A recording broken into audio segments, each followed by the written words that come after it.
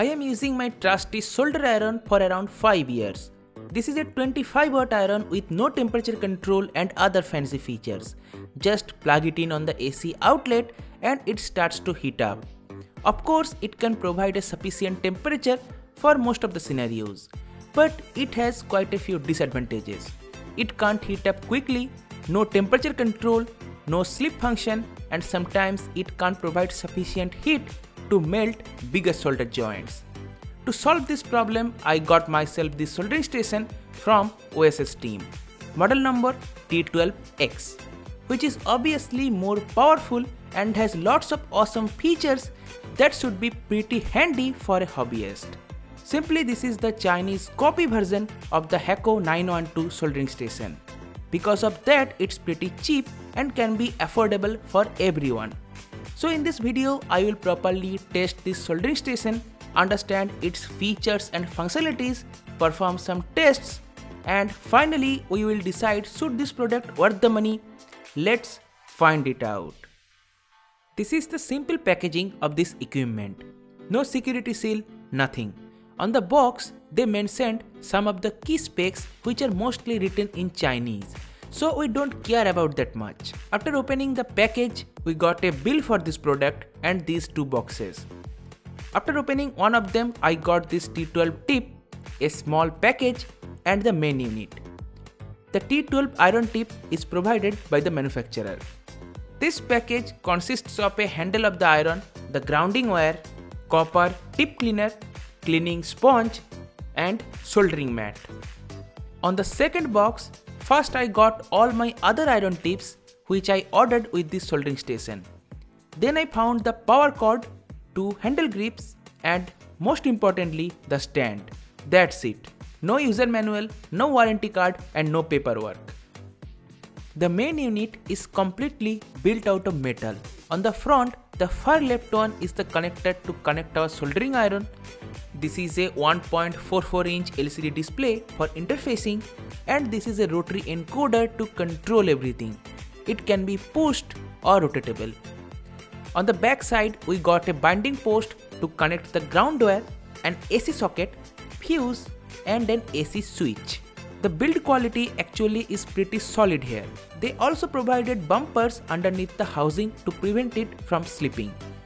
The ground wire I have mentioned earlier can be used to protect your circuits from the ESD when you are working on them. Also, the soldering tip is properly grounded inside the soldering station through a high value resistor. So, the iron is ESD safe. But sadly, it is actually not connected to the earth ground because of this AC plug they provided. In India, our outlet standard is different, so that not only the binding post is floating but also the iron tip body. Now the iron is not ESD safe anymore. If you change the wire with proper grounded one, then you can use this feature. To use this soldering station, I started to put the copper tip cleaner into its cavity and the tip cleaning sponge on its place. Then I untie the wire of the handle and put the T12 tip inside it. Keep pushing the element until it's stuck and can't be pushed in. Okay, moving on. To connect the soldering iron with its controller brain, I have to have this plug. This plug enters into the socket, tight the screw and we are done. Please be careful with the orientation of the connector. It is not a reversible one. This plug also has a notch for the orientation indication. After connecting the AC plug to the socket, putting the other end into the AC outlet, I turned on the outlet switch and the soldering station switch respectively. That's it. The soldering station turns on with this small animation and it starts to heat up the element until the set temperature is reached. This set temperature value can be controlled by this rotary encoder by rotating it clockwise or anti-clockwise the set temperature will be increased by rotating it clockwise and can be decreased by rotating it anti-clockwise. By pressing the button inside the rotary encoder, you can activate the boost that can by default increases the temperature 50 degrees. You can remove the boost by tapping it another time. By double tapping it, you can access these shortcuts. By rotating this knob, you can toggle between them. Of course, those temperatures are not fixed values. You can create your customized presets temperature between 80 to 480 wherever you want. And yes, these temperatures are all in degree Celsius. So the iron is very hot. Now, please be careful. By pressing and holding the switch of the rotary encoder, you can access the settings of the soldering station.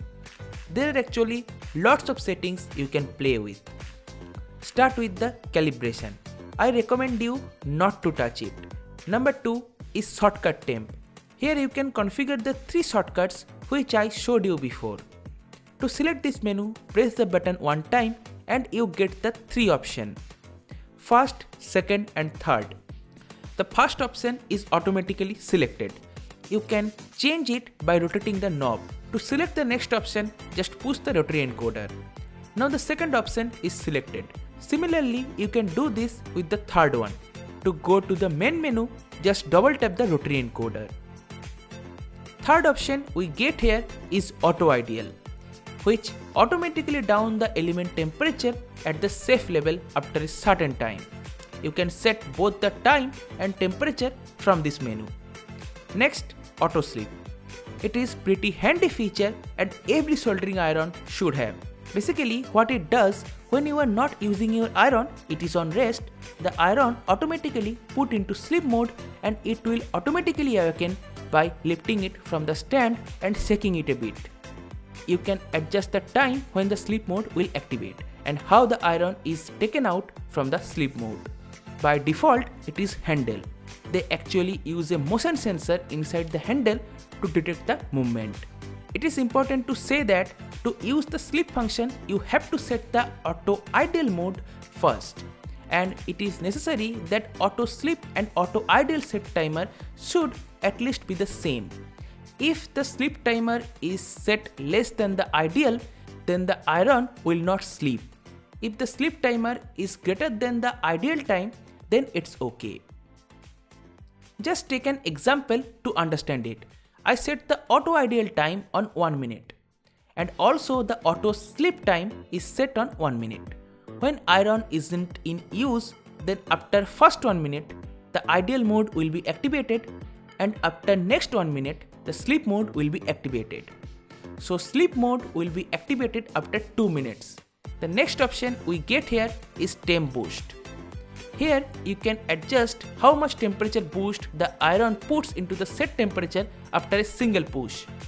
Also you can set here how long the boost remains activated. The last important option you get is temp step which can adjust how much temperature increases on every step of the rotary encoder. By default, it is on 10 degrees. In this menu, you also find some more options which are self-explanatory. Like language you can switch between two languages english and chinese.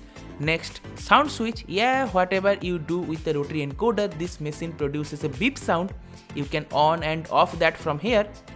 After that we get factory set that reset all the settings you set on this soldering station in the end we get system info from here you can check the hardware and software version of this station and finally exit which can help you to exit from this menu. Also by pressing and holding the rotary encoder, you can get out from the menu. By the way, this is a 72 watt soldering iron, works anywhere between 90 to 230 volt AC if you are curious. So it's pretty powerful. Let's see its performance.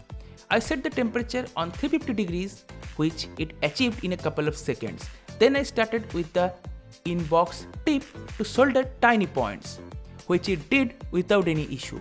Also, it can efficiently melt and hold the solder on its tip. So, soldering on small joints is definitely possible. Let's check some desoldering on some heavy joints. But this time I used the T12KU tip. The set temperature is still 350 degrees Celsius and apparently it still does its job fine solder joints are still melting flawlessly.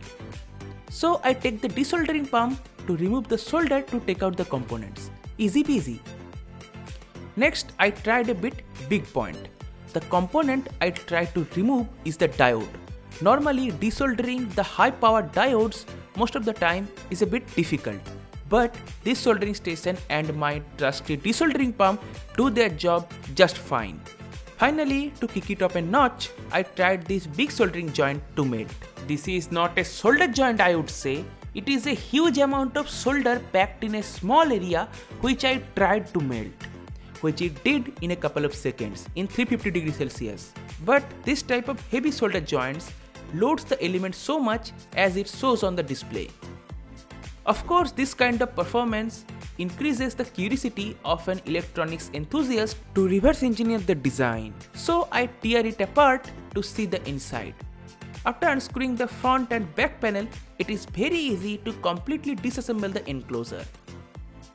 This board right here is just a power supply board that can produces 24 volt. This section however is the brain of the soldering station. This is the main microcontroller that can take input from the rotary encoder and from the thermocouple placed inside the soldering tip. The microcontroller processes it and provides the output which in this case is the heating element of the tip. Yes, the heating resistor is in series with the thermocouple inside. So apart from this grounded body of this tip, it has two main terminals, positive and negative.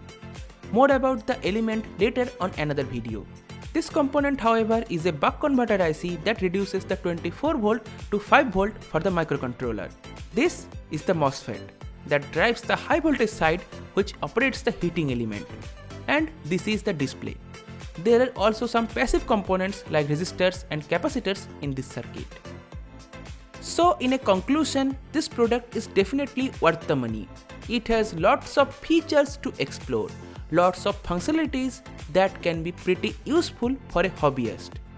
But this is a Chinese copy, so there is no warranty or guarantee from the manufacturer. If the seller provides any kind of warranty or guarantee, then you get it.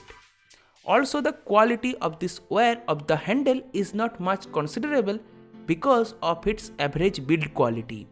But it will do by looking at the price point of course.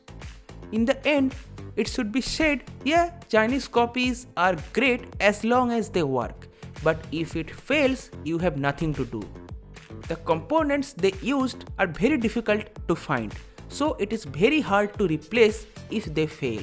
Another thing I would like about this station is its low cost iron tips, which also can be replaced according to your needs.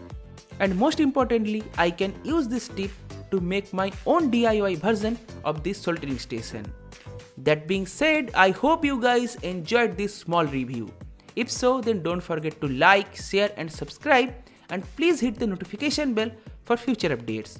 Thank you so much.